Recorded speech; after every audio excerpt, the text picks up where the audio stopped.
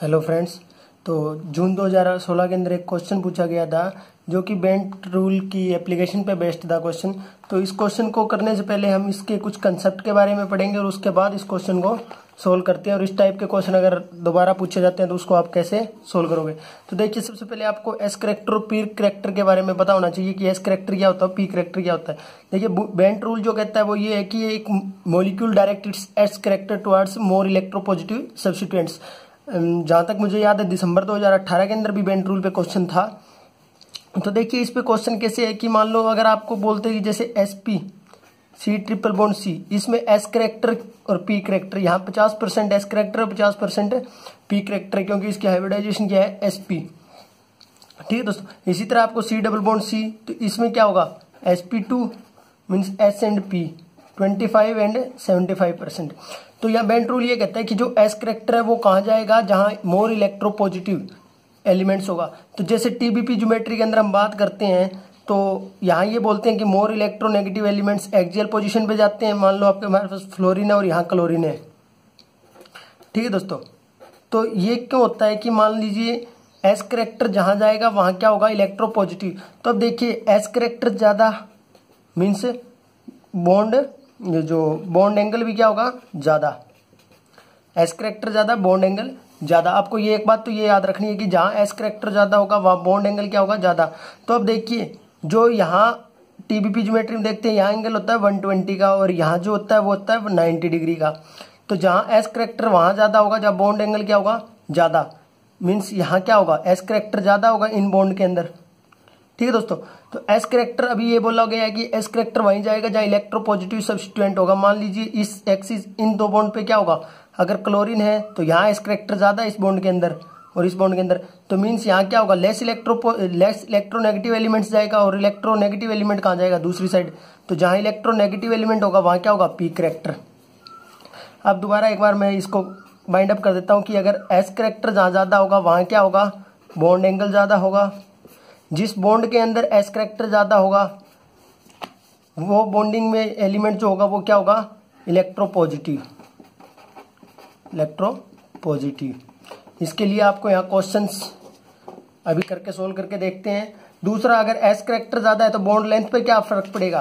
तो देखिए S character ज़्यादा है, इसकी बजाय यहाँ पचास परसेंट है, यहाँ पच्चीस परसेंट तो बॉन्ड लेंथ भी क्या होगी? कम। अब हमारे पास दो क्वेश्चन ये है प्रैक्टिस के लिए।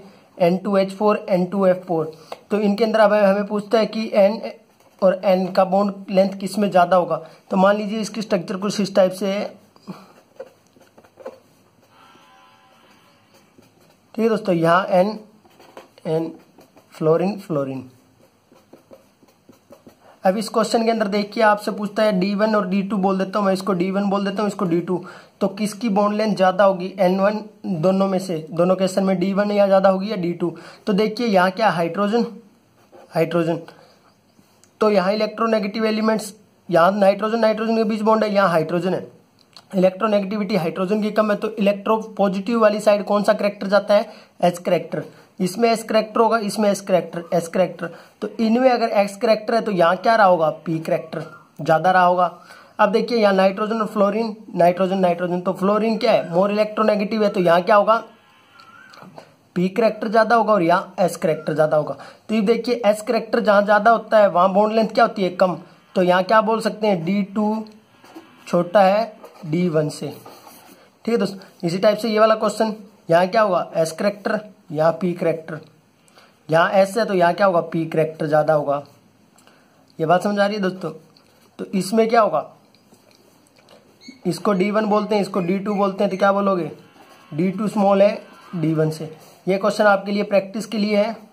P two C H four P two C F three की four P two H four ठीक है दोस्तों? उसके बाद क्वेश्चन करते हैं, जो जून 2016 के अंदर पूछा गया है।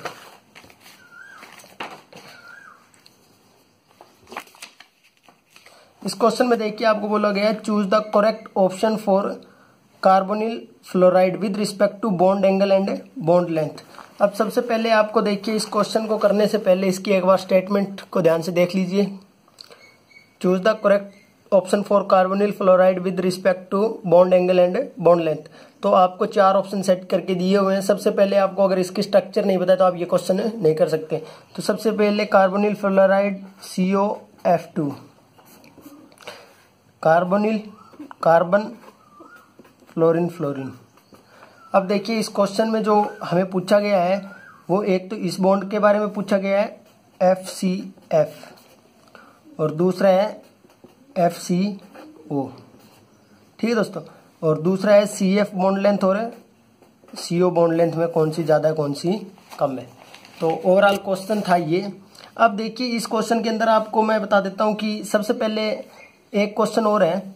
एक जो पॉइंट जो नोट करने वाला है वो कर लीजिए। अगर ट्रिपल बॉन्ड है तो वो ज़्यादा रिपल्शन करेगा, उसके बाद लोन पेयर उसके बाद लोन पेयर के बाद डबल बॉन्ड और फिर सिंगल बॉन्ड ठीक है दोस्तों?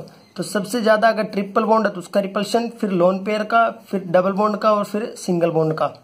तो यहाँ देखिए अगर हमारे पास बात करते हैं एस और पी करेक्टर के अकॉर्डिंग अगर हम चलते हैं तो यहाँ देखिए, यहाँ फ्लोरिन फ्लोरिन यहाँ ऑक्सीजन तो इस फ्लोरिन कार्बन फ्लोरिन के बॉन्ड के बीच में कौन सा करेक्टर ज़्यादा होगा? S correct sorry P character ज़्यादा होगा। क्योंकि मोर इलेक्ट्रोनेगेटिव है। एस करेक्टर बेंट रूल के अकॉर्डिंग वहाँ डायरेक्ट होता है, जहाँ क्या हो इलेक्ट्रो पॉजिटिव एलिमेंट हो। तो यहाँ फ्लोरिन मोर इलेक्ट्रोनेगेटिव है तो यहाँ क्या होगा? पी करेक्टर इसके कंपैरिजन में अगर यहाँ देखें तो यहाँ क्या होगा एस करेक्टर ज़्यादा होगा इतनी बात समझा रही दोस्तों? अब देखिए दूसरा फैक्टर अगर हम एस और पी से कंपैरिजन करें तो यहाँ पी और पी होगा तो ये बॉन्ड एंगल क्या होगा? लेस होगा।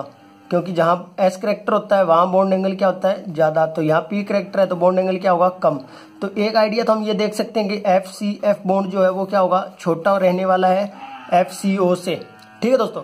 उसके बाद अगर बात करते हैं, यहाँ अगर दूसरा ये वाला देखें, अगर लोन पे, जो डबल बॉन्ड ट्रिपल बॉन्ड और लोन पेयर वाले रिपल्शन की बात करते हैं तो यहाँ डबल बॉन्ड है, इसका रिपल्शन क्या होगा? ज़्यादा होगा। इसका रिपल्शन मान लीजिए यहाँ ज़्यादा होगा तो ये वाला बॉन्ड क्या होगा? छोटा होगा सी एफ़ सी एफ़ वाला। और ये वाला बॉन्ड क्या करेगा? इंक्रीज करेगा। मान लो जब ये बैंड करेगा सी एफ़ बॉन्ड तो ये वाला बॉन्ड क्या करेगा? इंक्रीज करेगा। ओ एफ़ सी ओ वाला बॉन्ड क्या करेगा? इंक्रीज करेगा। तो यहाँ से ये देख सकते हो, दूसरा यहाँ देखिए, यहाँ एस करेक्टर ज़्यादा है तो एस का क्या होगा? एस करेक्टर ज़्यादा है मीन्स वहाँ क्या होगा? बॉन्ड एंगल ज़्यादा। तो एक तो ये निकल के आया है हमारे पास कि एफ़ सी एफ़ बॉन्ड क्या है? छोटा है एफ़ सी ओ से। ठीक है? दूसरा देखिए बॉन्ड लेंथ की बात कर रहा है। एक तो सिंपल अगर आपको स्ट्रक्चर पता है तो आप डायरेक्ट बता सकते हो कि कौन सा बॉन्ड लेंथ छोटा होगा, कौन सा बड़ा, क्योंकि यहाँ डबल बॉन्ड है और यहाँ सिंगल बॉन्ड है तो आप डायरेक्ट बोल सकते हो सीओ बॉन्ड क्या होगा? छोटा होगा सी एफ़ बॉन्ड क्या होगा? बड़ा। दूसरा ऐसे देख सकते हो।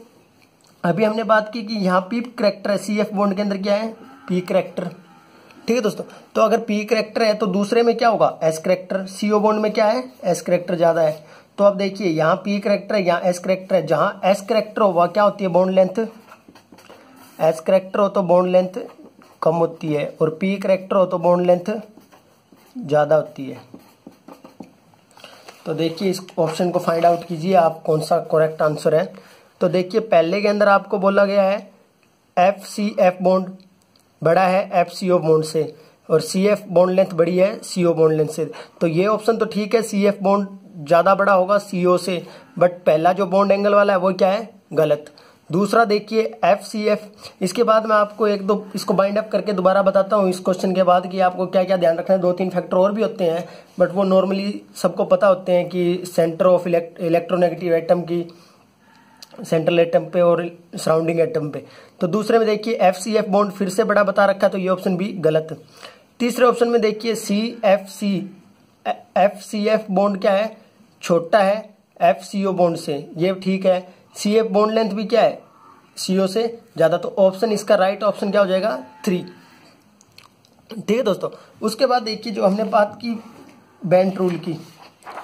तो बेंट रूल से पहले मैं ये बोल देता हूँ कि बेंट रूल में जो क्वेश्चन एक बार पहले और पूछा गया है, उसको भी मैं डिस्कस करूँगा तुम्हारे साथ कि यहाँ ये बोलता था कि इलेक्ट्रोनेगेटिव एटम कुछ ऐसे स्टेटमेंट थी कि इलेक्ट्रोनेगेटिव एटम एक्जियल पोजीशन पे जाता है या इक्विटोरियल पे। तो मेन फोकस हमारा ये होना चाहिए कि हमारे पास ये टीबीपी ज्योमेट्री है तो यहाँ अगर हम देखते हैं, इक्विटोरियल वाला बॉन्ड एक्सियल बॉन्ड है वो क्या बनाता है, नाइन्टी डिग्री, और ये वाले वन ट्वेंटी। तो हमें डायरेक्ट आइडिया होना चाहिए कि वन ट्वेंटी डिग्री अगर है, बॉन्ड एंगल ज़्यादा जहाँ है, वहाँ एस करेक्टर क्या होगा, ज़्यादा। मीन्स एस करेक्टर यहाँ ज़्यादा। अब अगर इन बॉन्ड के अंदर एस करेक्टर ज़्यादा है तो यहाँ एलिमेंट जो सब्सिट्यूएंट है, वो कौन सा होगा इलेक्ट्रो पॉजिटिव क्योंकि बैंड रूल की जो डेफिनेशन है, वो यही कहती है कि अगर एस करेक्टर वहाँ डायरेक्ट होगा, जहाँ क्या है इलेक्ट्रो पॉजिटिव एलिमेंट हो। मैं आपके लिए एक क्वेश्चन यहाँ लिख देता हूँ कि जिसमें से कौन सा आपको करेक्ट फाइंड आउट करना है।